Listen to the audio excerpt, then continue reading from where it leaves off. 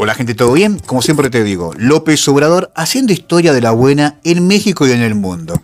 Recuerdo que hace un tiempo decían que López Obrador era un loco, que buscaba conflicto, que realmente lo que pedía era estupidez, ¿no? Sí, estoy hablando de la famosa carta que envió al Papa Francisco y al rey de España. Obviamente el rey de España demostró mucha soberbia y el Papa Francisco orgullosamente hoy contestó la carta. Escuchen bien. Papa Francisco envía mensaje a México por la independencia, expone perdón por acciones y omisiones. Luego dice, me uno a la alegría de esta celebración y al mismo tiempo deseo que este aniversario tan especial sea una ocasión propicia para fortalecer las raíces y reafirmar los valores los que constituye como nación, expresó el Papa Francisco, ¿no?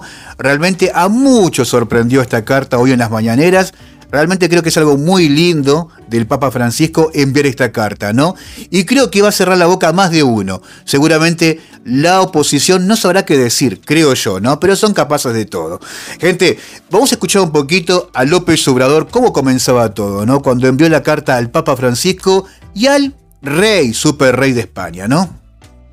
Y de lo que vamos a hablar y adelantamos algo es de que envié ya una carta al rey de España y otra carta al Papa para que se haga un relato de agravios y eh, se pida perdón a eh, los pueblos originarios por eh, las violaciones a lo que ahora se conoce como derechos humanos. Hubieron matanzas, eh, imposiciones, la llamada conquista, se hizo con la espada y con la cruz. Se edificaron las iglesias arriba de los templos. Bueno, se excomulgó a nuestros héroes patrios, a los padres de nuestra patria a Hidalgo y a Morelos. Entonces es el tiempo ya de decir, vamos a reconciliarnos, pero primero pidamos perdón. Yo lo voy a hacer también porque después de la colonia hubo mucha eh, eh, represión a los pueblos originarios. Bueno, ahí estaba López Obrador enviando ese mensaje, ¿no? Eh, creo que habló respetuosamente, pidió de la mejor manera posible, ¿no? Al Papa Francisco y al Rey de España. Orgullosamente y felizmente el Papa Francisco hoy envió esa carta, pero tristemente, como te dije, el Rey de España demostró mucha soberbia, ¿no? Demostró ese silencio que realmente duele y jode muchas veces, ¿no? Eh, creo que López Obrador lo que pidió no es tan difícil. Algunos lo criticaban y decían, ¿cómo podés pedir esa locura después de tantos años, no? Y simplemente López Obrador lo que decía era defender su país, ¿no? Su historia. Mismos mexicanos, que como siempre te digo, están en contra de López Obrador y son capaces de criticarlo por todo, ¿no? Mismo porque él defiende el país. Y no estoy mintiendo, saben muy bien que, tristemente, algunos mexicanos lo criticaban a López Obrador por enviar esa carta. En cambio de estar orgullosos de López Obrador por enviar esa carta, algunos lo criticaban, pero millones admiraron y mucho esa carta enviada de López Obrador, ¿no? Igualmente, López Obrador, como dice él, ¿no? Mi pecho no es bodega, dijo lo que pensaba el presidente de España. Vamos a escuchar. Es cortito, pero creo que este video es histórico, ¿no? Envió una carta que hasta podríamos ponerla ahora de manera respetuosa y no tienen ni siquiera la delicadeza de responderla. La filtran y empiezan los ataques. A mi persona y al gobierno. De eh, autoridades, de intelectuales pro monárquicos, Vargas Llosa, otros escritores, la prensa, el país, programas de radio, de televisión en España, burlándose de nuestra propuesta, que por qué tenían ellos que pedir perdón, con mucha arrogancia.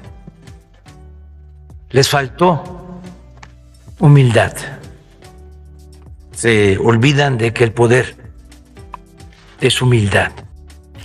Bueno, gente, ahí estaba López Obrador, ¿no? El poder es humildad y es 100% cierto lo que dice el presidente de México, ¿no? Fundamental. El tema de la humildad es fundamental en la vida. Gente, cuando decía López Obrador, ¿no? Que esa carta se filtró y recibió muchos ataques de todos lados, no está mintiendo López Obrador, ¿no? Les voy a leer algunas cosas y después un video cortito que fui juntando. Vamos a verlo después. Escuchen bien. Santiago Bascal, el famoso español de Vox, y digo famoso entre comillas, ¿no? Porque creo que se ganó la fama gracias a López Obrador. Dijo esto, escuchen bien.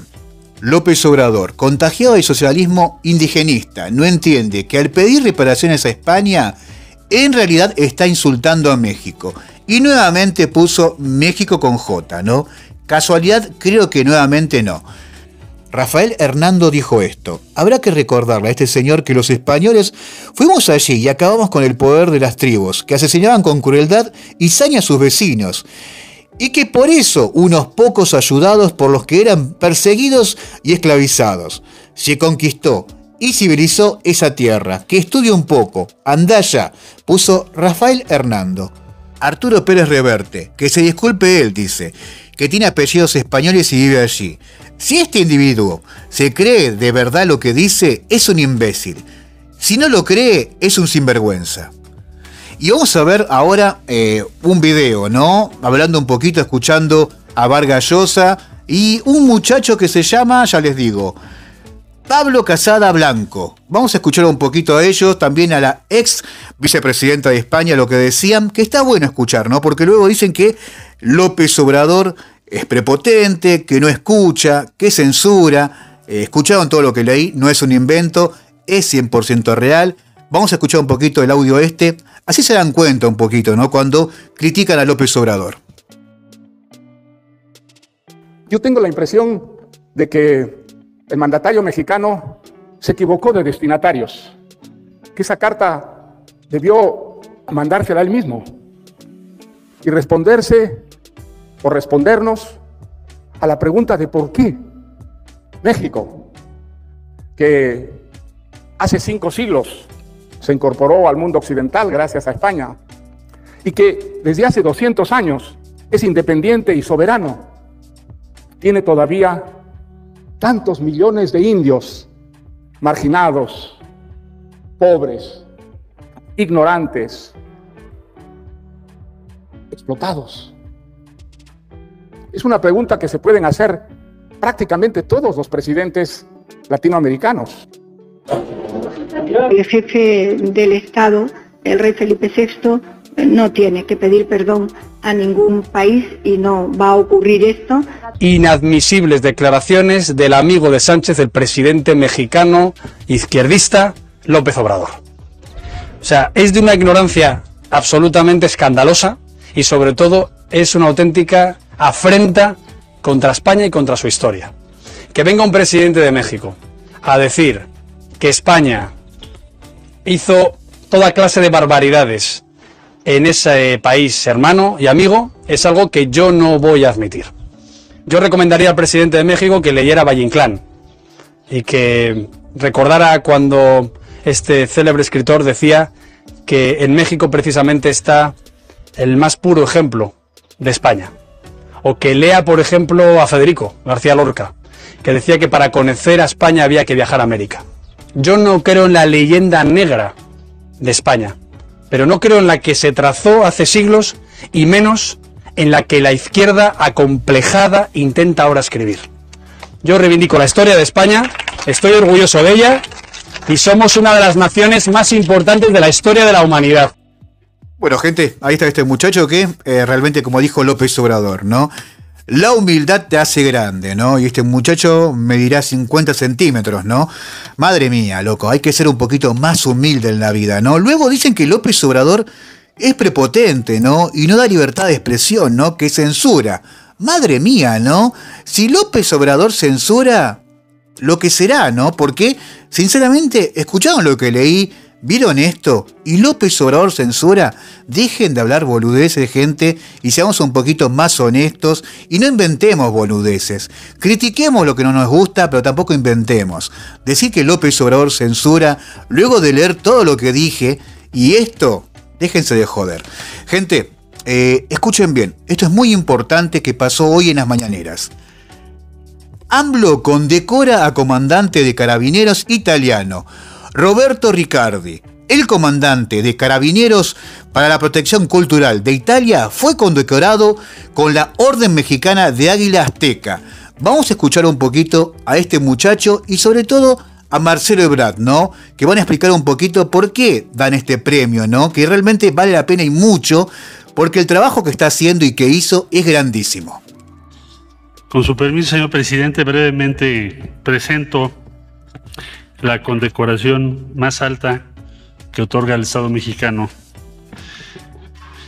a un extranjero, la Orden Mexicana del Águila Azteca, que está prevista en la Ley de Estímulos y Recompensas, artículo 40, se publica en el diario oficial. ¿Por qué se otorga esta condecoración, que es la más alta? Al general de brigada Roberto Riccardi, comandante de los carabineros para la protección del patrimonio cultural de Italia. Se otorga porque el general de brigada Roberto Riccardi ha ejercido un liderazgo muy activo en apoyo para la salvaguarda y devolución del patrimonio sustraído ilícitamente de nuestra nación Ejemplo de ello es la reciente recuperación de 17 piezas arqueológicas que se pretendían subastar en Italia el pasado 16 de septiembre de este año. Y también por la muy destacada colaboración del general de brigada Roberto Riccardi con distintas autoridades mexicanas para traer, que han traído como resultado la restitución de 74 piezas arqueológicas y 584 exvotos desde 2013, siempre en favor de la defensa del patrimonio cultural e histórico de nuestro país. Por esa razón, el día de hoy México le reconoce, general, su gran labor, su compromiso con la causa mexicana de impedir la sustracción ilícita y el tráfico de nuestro patrimonio histórico y cultural. Muchas gracias.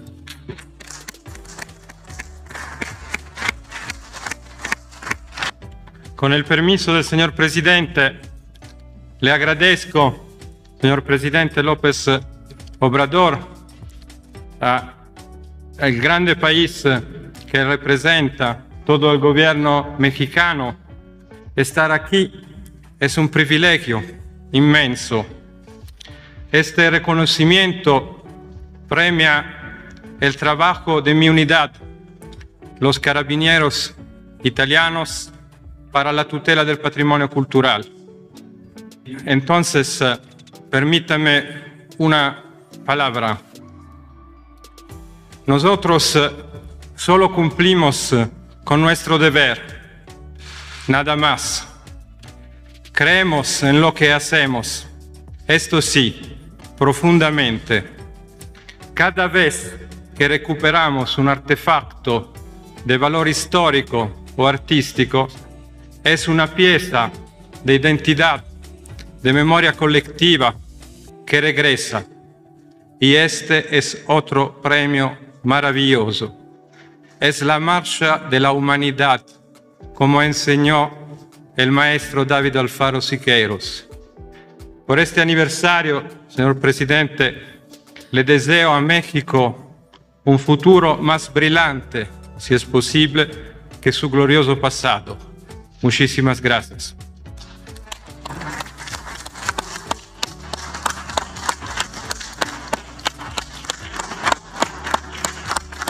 Bueno, gente, ahí estaba el comandante de carabineros italiano Roberto Riccardi. Realmente demostró mucha humildad, ¿no? Porque está haciendo un grandísimo trabajo. Por eso mismo López Obrador y México lo premian, ¿no? Él tranquilamente podría tener mucha soberbia porque lo que está logrando es grandísimo. Está recuperando cosas históricas, cosas que no tienen valor económico. Eso tiene un valor sentimental 100% para el pueblo mexicano, es algo muy importante. Y él tranquilamente se podría creer un héroe, que lo es, ¿no? Porque recuperar esas cosas realmente es un orgullo. Pero igualmente él tiene mucha humildad, dice, a mí me corresponde hacer este trabajo y lo hago. Muchas veces algunos tendrían que aprender de esa humildad, ¿no? Como siempre te digo, el mexicano de por sí es muy humilde y muchas veces de muchos países tendríamos que agarrar un cuadernito y fijarnos las cosas buenas también, ¿no? Y aprender a ser un poquito más solidario, humilde, respetuoso, creo yo, ¿no? Gente, les mando un abrazo muy grande, denle like, compartan y los felicito, loco, porque siguen festejando, siguen recordando fechas tan importantes, ¿no? Fechas importantísimas, fechas que realmente el mexicano se siente orgulloso 100%. Como siempre te digo, el mexicano corre por la sangre ser patriota, ¿no? Y no echa mucho. El mexicano es muy patriota, muy buena gente. A veces da un poquito de bronca, y les soy sincero, que muchas veces algunos sacan ventaja del gran corazón que tienen ustedes, ¿no? Pero bueno, el tiempo dice todo quién es quién, como siempre te digo. Lo importante, gente, hay que enfocarse en lo positivo, enfocarse que tienen un gran presidente que realmente día tras día hace lo mejor por ustedes y hace lo imposible. Obviamente, como siempre te voy a decir, faltan cosas por hacer, faltan cosas por hacer, obviamente. No puede hacer magia López Obrador y en un chasquido arreglar todo. Obviamente que no puede ser así. Lo deseamos, sí, pero lamentablemente todo tiene un proceso. Abrazo, gente, pero los quiero mucho.